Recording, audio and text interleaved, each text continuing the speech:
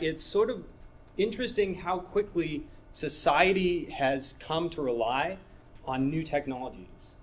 Um, and it seems like there's this sort of cultural assumption of this ubiquity of new technology. Um, and in computer science, um, is this in focus? Um, well, so I'll let someone else. Um, in computer science, something I hear some of the times is people say computers can do anything. Um, and admittedly, this is a little bit of a straw man. Um, people don't actually say this, but people are really excited about what computers can do.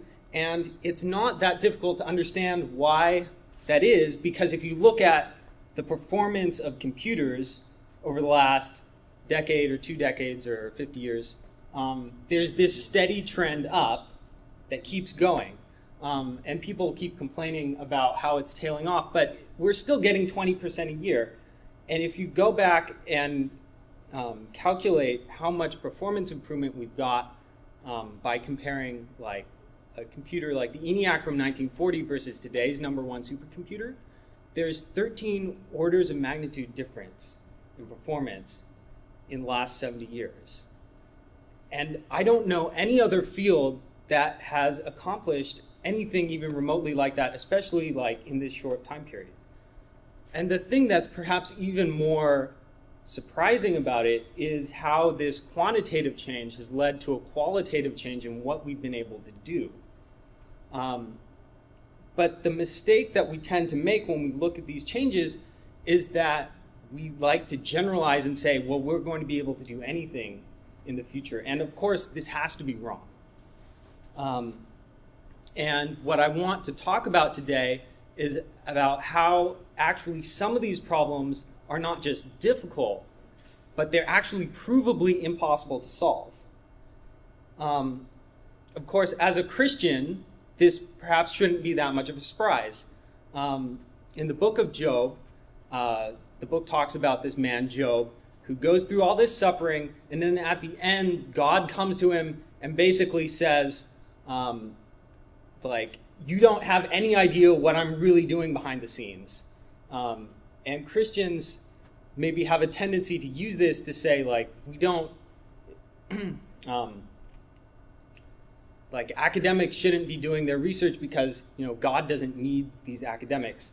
Um, what I want to focus on here is more uh, that there are obviously things that we can't do, but what are those things? Like, what can we show is actually impossible to do? Um, and so I'm going to define an impossibility theory to be the study of the impossible rather than the possible, sort of flipping the normal um, investigation of science. And the goal of doing this is to help us better understand the limits of knowledge and therefore of human capability. Now, the idea itself isn't actually new in mathematics, this idea has been around for a while. Um, in around 1900, David Hilbert gave a talk where he outlined 10 problems that would go on to shape the next century in mathematics. And during this talk, he said that occasionally it happens that we seek the solution to some mathematical problem under insufficient hypotheses or in an incorrect sense, and for this reason do not succeed. The problem then arises to show the impossibility of the solution under the given hypotheses or in the sense contemplated. And he goes on to say that he believes that every problem in math is either solvable or provably impossible to solve. And I'm not necessarily trying to say that, but at the very least, I want to show you that there are problems that we can prove are impossible to solve. Now, when you go about doing this, you have to be extremely careful about the methods that you choose to pursue the question. Um, in science, we like to do experiments, and one of the dangers is if we do an experiment and then it fails, sometimes we want to recoup the effort that we put into the experiment and flip around the hypothesis and prove the opposite of what we were trying to prove. And frequently, if we didn't specifically design our experiments to be able to do that, then we actually can't say anything about the hypothesis at all. So clearly, you have to use statistical methods properly. But even when you do that, you have to, it's difficult to get to absolute um, statements with statistical methods because statistical methods are only accurate to some error bound, to some level of certainty. And even though in theory we can reduce that error bound to zero in the limit, in practice we never actually get there.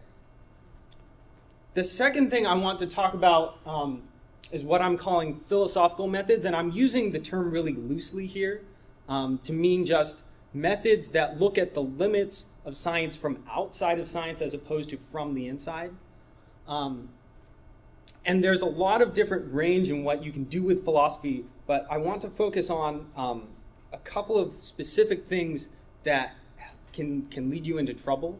Um, so there's one um, sort of subfield of philosophy called NOMA, which is um, non-overlapping magisteria, which basically posits that there's some realm of science and there's some realm of spirituality, and there's some dividing line between them and they don't mix. And the problem with at least this particular theory is that it doesn't give you any insight into where the line is. Like you can't know what questions are valid science questions and what questions are valid spirituality questions. And as a result, it doesn't actually give you an explanatory power. Um, so obviously, there are a lot more sophisticated philosophical methods, and you can fix a lot of these problems. But what I'm interested in looking at is how to demonstrate the limits of science from inside the scientific methods themselves. And I'm going to do that um, with a three step process. The first thing that you need is a formal system. Um, so this can be something like first order logic and math, um, or set theory, or any of these sort of foundational systems where we can precisely reason about exactly what we're saying. And the choice of the formal system matters a lot to the question that you want to answer because it's sort of like the language that you're speaking in. And it has non trivial implications for how you lay out a problem. The second thing that obviously you need to do is you need to lay out the problem statement within that formal system. And there may, in fact, be multiple ways to state a problem. Frequently, when you state a problem in English, it's not actually very precise, and there may be multiple sort of mathematical translations of a given problem, and you have to pick one of those to be able to answer. And sometimes, what, how you state the problem may change what the answer is. Um, but um, picking, picking among those is a separate issue, and I'll get to that in a bit. And then finally, given some formal system and the problem statement in that formal system, you can go about proving that there are no solutions to that problem in this system. So, the specific area that I want to talk about today is in uh, computer science, is the field of computability, which answers the question what is it possible to compute? And, like I described, we're going to need a formal system, which is sort of like a language for even talking about the problems. The one that we like to use most frequently in computer science is called the Turing machine. Um, it's a formal model of computation that basically models three key characteristics of a computer. The first is computation, which is essentially following a series of rules, like when you see this, do this, when you see this, do this. Um, memory, which is the current sort of state of the computation and then the input output behavior, which is how the system interacts with the user. And the interesting thing about this formal model is that it's actually equivalent to a couple different formal models that have been formulated in very different ways. So, for example, partial computable functions is a mathematical formalism based on simple algebra and some basic recursion that actually turns out to be provably equivalent to Turing machines even though it looks very different. And for this reason, um, computer scientists believe that Turing machines are actually a pretty good model for what we can do with computers because it's equivalent to all these other different systems. And, the, and one of the key properties um, of programs in these systems is that they can have infinite loops, which means that the programs might run and never finish.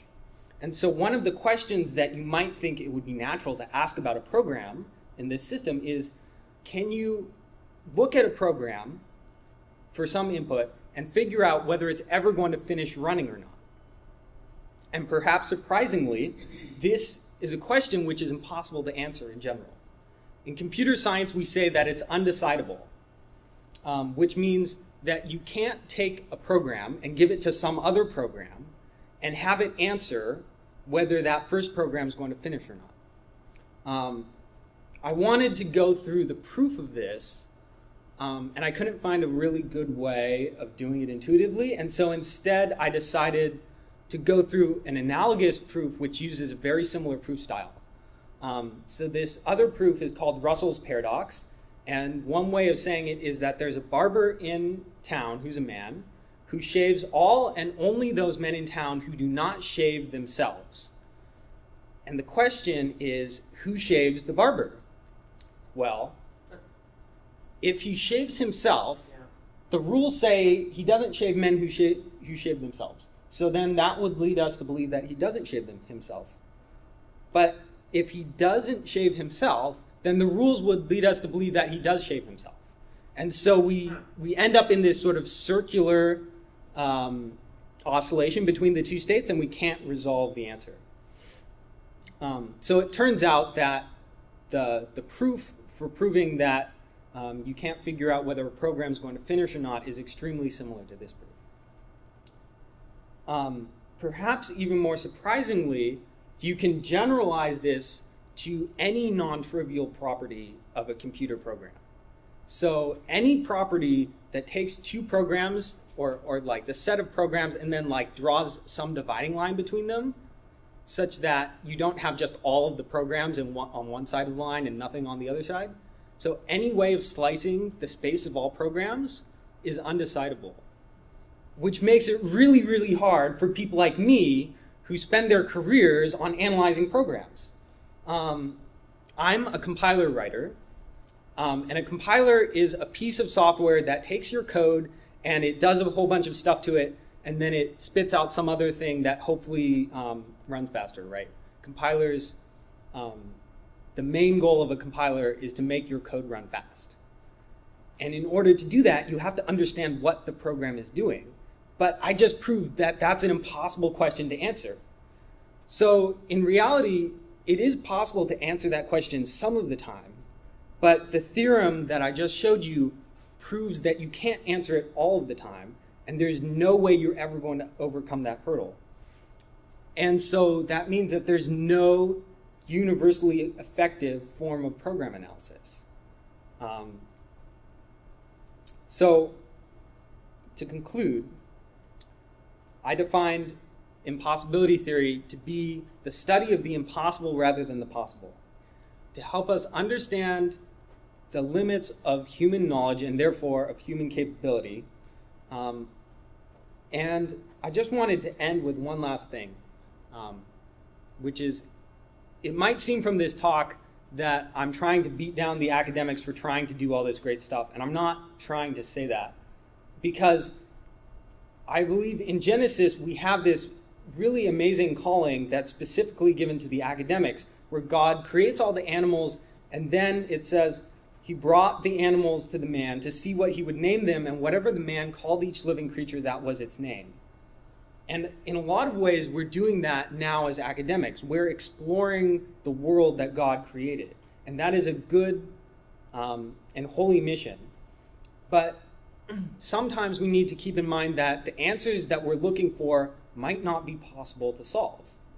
And it would be good to not just keep that in mind, but to actually search for those questions so that we can know the boundaries of our sandbox more clearly. Thank you.